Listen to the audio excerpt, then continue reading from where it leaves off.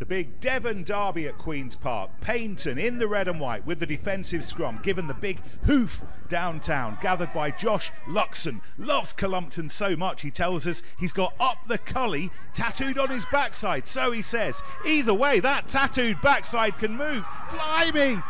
Tattoo that! Luxon's dad, Steve, is the director of rugby. The beers are on him tonight.